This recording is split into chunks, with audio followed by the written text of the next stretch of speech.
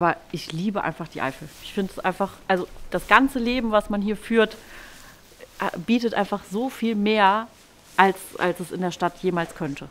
Diese Freiheit, die man hier hat, also ne, ich nehme mein Pferd, reite aus, einfach von hier aus, vom Hof aus, Kilometer weit und treffe unter Umständen noch nicht mal einen Menschen. Ich sehe quasi mehr Tiere unterwegs, irgendwie Rehe oder sowas, als Menschen manchmal. Mit dem Hund spazieren gehen, einfach loslaufen, Kilometer weit, das ist einfach für mich ein Stückchen Freiheit.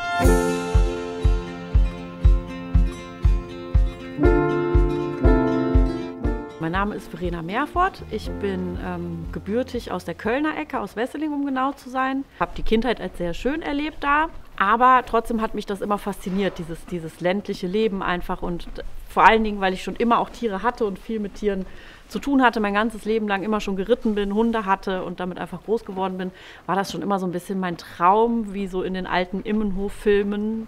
Vielleicht kennst du die ja auch oder kennt die der ein oder andere. Ähm, einfach zu leben und so mit den Tieren zusammen an einem Ort. Und das geht halt im städtischen Bereich gar nicht. Wollte immer Tiermedizin studieren. Das ist leider ähm, nichts geworden, weil mein Abi super schlecht war.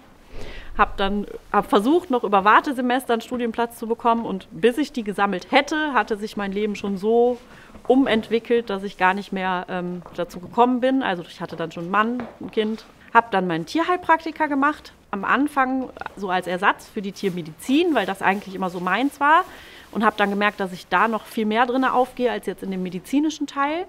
Habe gemerkt, dass mich diese ganze ja, Naturheilkunde tatsächlich, dies, das Heilen durch die Natur, durch, durch Sachen, die halt in der Natur wirklich entstanden sind, noch viel mehr fasziniert und habe mich dann da auch weiter fortgebildet und noch verschiedene andere Zusatzkurse neben dem Therapraktika, Akupunktur und ähm, teilweise auch phytotherapeutische Ausbildungen weiter belegt. Ähm, war dann lange mobil unterwegs als Tierheilpraktikerin und habe gemerkt, dass man gerade bei Pferden haltungsbedingt an Grenzen kommt, einfach was die ähm, Versorgung betrifft. Also Oft ist ja in den Ställen bei den Pferden jetzt vorgegeben, wie die gefüttert werden, wie die gehalten werden, wie viel Freilauf die haben. Oder halt auch eben leider oft noch der Fall, dass die halt sehr, sehr viel in Boxen gehalten werden. Und ähm, das ist halt meiner Meinung nach gesundheitlich nicht förderlich. Und da bin ich halt immer wieder mit meinen Behandlungen an Grenzen gekommen, weil ich keinen Einfluss auf diese, ne, auf diese Haltung und Fütterung halt eben hatte.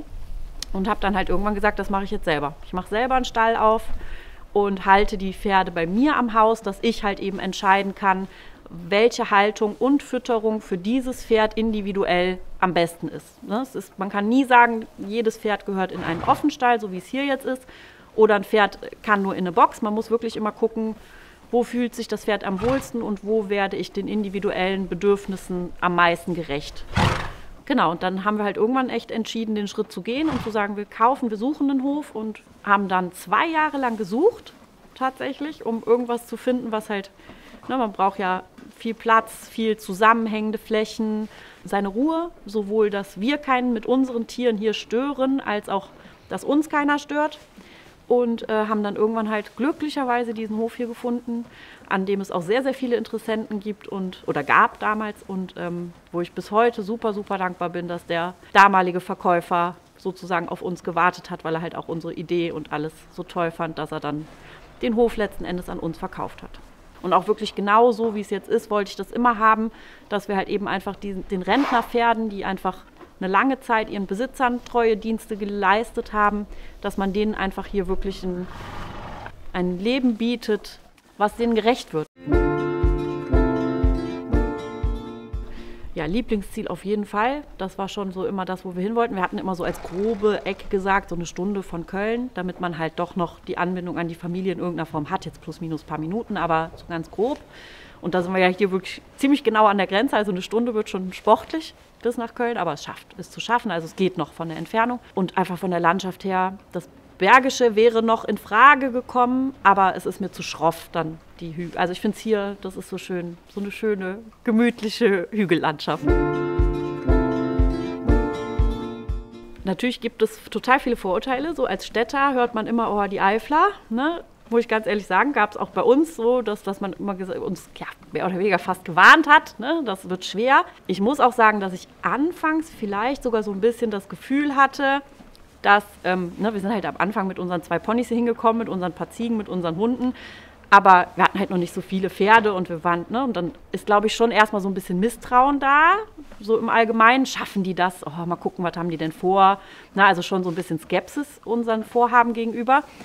Aber wir wurden super, super gut aufgenommen. Also ich kann überhaupt nicht bestätigen, diese ganzen Vorurteile. Im Gegenteil eigentlich sogar. Es waren immer total viele hilfsbereite Menschen um einen rum.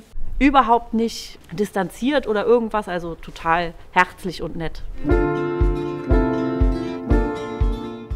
Ich zumindest früher bin immer, wenn ich irgendwo von irgendwo wiederkam, noch schnell irgendwo was einkaufen gegangen und gefühlt immer. Also man hatte ja immer die Möglichkeit, man kam ja eh immer an irgendeinem Geschäft vorbei und ist immer noch schnell reingesprungen, hat das noch gekauft, das noch gekauft.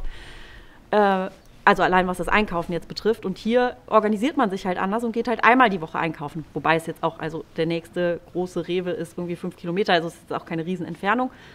Aber das entspannt mich persönlich, dass einfach ich einmal die Woche einkaufen gehe, meinen Großeinkauf mache und dann den Rest der Woche das einfach aus dem Kopf habe und nicht noch schnell das und noch schnell das, sondern einfach das Ganze so ein bisschen besser plane. Und mit der Schule, also das, die Schule ist vier Kilometer von hier. Ich denke mal, dass man in der Stadt genauso sich ins Auto setzt und sein Kind zur Schule fährt, vielleicht sogar noch eher als hier. Hier gibt es halt auch Schulbusse und also das fand ich hier das größte Erlebnis überhaupt, ähm, dass halt das Kind auch zum Kindergarten schon von einem Bus abgeholt wird mit einer unfassbar lieben Busfahrerin. Es gibt eine WhatsApp-Busgruppe, wo man über alles informiert wird, was da einfach passiert. Ähm, gut, die Busfahrerin war jetzt auch noch besonders besonders. Die hat halt auch noch Musik irgendwie morgens im Bus für die Kinder angemacht. Also das war einfach, die war keine Busfahrerin, die war einfach ein Erlebnis und eine Erinnerung. Dieses Erlebnis, das hat man, glaube ich, in der Stadt gar nicht. Ne? Also hier konnte ich mein Kind auch im Kindergarten schon guten Gewissens in einen fremden Bus setzen und ich wusste, die kommt gut an und die kommt gut nach Hause. Da brauchte ich mir keine Sorgen machen. Also Kerpen haben wir, war tatsächlich natürlich, was die Auswahl angeht, ein Zufall, dass der Hof hier halt lag. Und dann haben wir uns erst im Nachgang sozusagen mit dem Ort an sich beschäftigt und waren halt einfach begeistert, was, wie, wie schön der ist. Als wir das erste Mal da durchspaziert sind, weiß ich noch, das war mit dem Verkäufer von dem Hof hier, der hat uns das dann einmal auch so ein bisschen gezeigt und hat mir auch das Elternhaus gezeigt, wo er früher gelebt hat.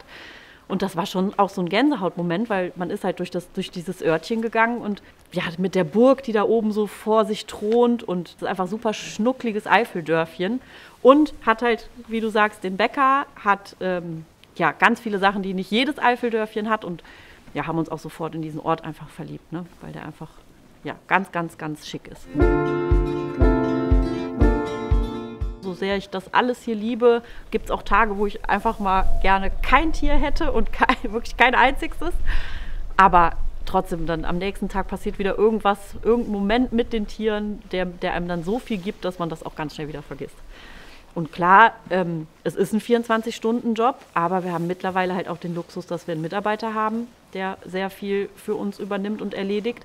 Immer Samstag, Sonntags ist unsere Hauptarbeitszeit weil da auch die meisten Pferdebesitzer ihre Pferde besuchen kommen und dann möchte ich einfach auch da sein und ansprechbar sein, Ansprechpartner sein, wenn irgendwas ist. Genau, aber unter der Woche ist dann hier auch weniger los und es kehrt ein bisschen Ruhe ein. Also dann ist der Mitarbeiter da und kümmert sich halt um viel auch mit, ne? sodass ich dann auch ein bisschen mehr Zeit für Familie und Kinder unter der Woche habe von den Pferden her größer werden, also von der Anzahl der Pferde möchte ich nicht, weil ich finde, dass man ab einer gewissen Anzahl an Pferden nicht mehr diese individuelle Betreuung bieten kann. Dann geht einfach in der Menge das Einzelne verloren und das möchte ich auf gar keinen Fall. Wenn noch ein Standbein dazu kommt, dann vielleicht so echt Ferienhäuser, weil ich es einfach Menschen auch näher bringen möchte, dieses Leben zu leben mit den Tieren und denen einfach das auch ermöglichen will. Also die meisten Leute, die aus der Stadt auch ihr Pferd hier besuchen kommen, die sagen wirklich, also so ist ein Feedback, was ich wirklich auch bekommen habe. Ich mache die Autotür auf und aller Stress fällt irgendwie ab, weil hier einfach ne, auch die vielen Tiere, die wir hier haben, so harmonisch miteinander leben. Ne? Hier laufen einfach die Katzen neben den Entenküken rum und ne, das, also hier sind einfach so viele schöne Szenen am Tag, die so viel einem geben und das bringt, glaube ich, ganz vielen Leuten, die so Stress im Alltag haben, auch ganz viel Ruhe, so innerliche Ruhe. Also ich fahre halt gerne auch einfach nochmal in die Stadt, um da einfach das Stadtleben mitzukriegen und wirklich Sachen zu unternehmen, die hier jetzt nicht so sind. Aber ich freue mich halt auch immer wieder, wenn ich dann über die Autobahn fahre und lese Parkplatz Grüner Winkel. Das ist für mich immer so der Wendepunkt, wo man dann so die, ne, da fährt man echt über so einen Hügel und sieht so die Eifellandschaft und jedes Mal, wenn ich in der Stadt war und da irgendwas gemacht habe, was ich hier vielleicht in irgendeiner Form vermisse, freue ich mich, dass ich wieder hierhin zurückfahre, weil hier einfach für mich so eine kleine heile Welt noch irgendwie besteht.